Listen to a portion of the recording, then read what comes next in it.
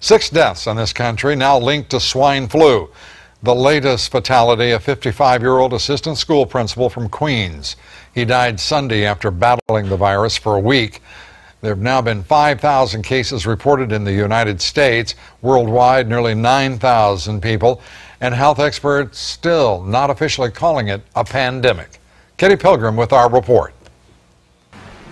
Traditional flu season is over, but swine flu seems to be spreading at a great rate. Suddenly today in New York City, St. David's, a private school, closed after 12% of its 400 students reported flu-like symptoms. In New York City, 11,000 students stayed home. 16 public schools closed. But incredibly, Mayor Bloomberg says you can't wall yourself off and will only close schools on a case by case basis. That despite the advice of his city health commissioner, who will soon be the head of the Centers for Disease Control. I've asked the question what would you do, uh, Dr. Frieden, if you wanted to prevent the uh, spread of flu among the entire student population? And the answer is close the schools for a month, prohibit all interaction between kids outside of school and even then, there's no guarantee that you would do that. The mayor's office defended itself against charges it acted too slowly to close the schools down. Mitchell Wiener, a school administrator, died Sunday. The mayor closed the school shortly after he was hospitalized Thursday.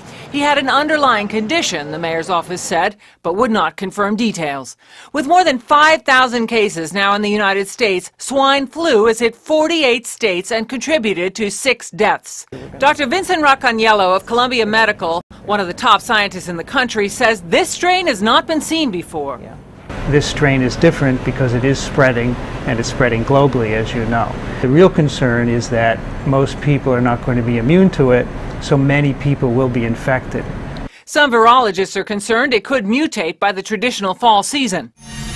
Now, the head of the World Health Organization today held a press conference refusing to raise the level above a level five and uh, just below declaring a pandemic. They say it would stay at that time for the time being, Lou.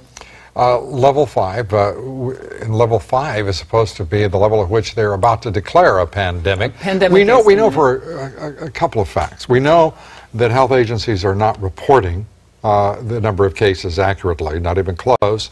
We know that uh, the, cases are not being uh, screened to determine whether or not, in many cases, this is swine flu. Uh, th this is peculiar, and in all of the fatalities, there's been, it seems, almost a concerted effort to say there was a pre existing condition. Uh, this becomes, in and of itself, suspect what is going on here? Well, you know, it, they're telling me that you cannot. They're not testing for this widespread testing. There is that's just not going on, and also they, so many people are just not being tested. They think it's just normal flu, and so you have a lot of cases that are not being reported at all. So you could have many, many more cases out and there. And the only reason one could imagine that would be the case is that they don't want to report higher numbers. Yeah. Yet at the same time, every infectious disease expert with whom we've spoken here has said it is yes, a pandemic. They have. And you know, they say flu, uh, reporting flu-like symptoms. Well, it seems to me that they should be testing these flu-like symptoms to see which kind of flu these yeah. people have. And we still are contending with a, uh, this sort of uh, reflexive political correctness. Of a number of news organizations going with H1N1 instead of the swine flu bizarre since that's not a distinction at all from the seasonal flu, uh, uh influenza A, H1 N1. Right. Uh, we'll continue to call it swine flu here, right. just as is most of the civilized world. Uh, thank you very much, Kitty. The swine flu outbreak began, of course, in Mexico. Dozens of people were killed there. More than 70 deaths worldwide have been reported uh, as the result of swine flu. And as of today, the virus has sickened more than 8,800 people in 40 countries. According to some WHO estimates, they are that. A federal judge has awarded, by the way, five illegal alien farm workers in Colorado almost $8 million.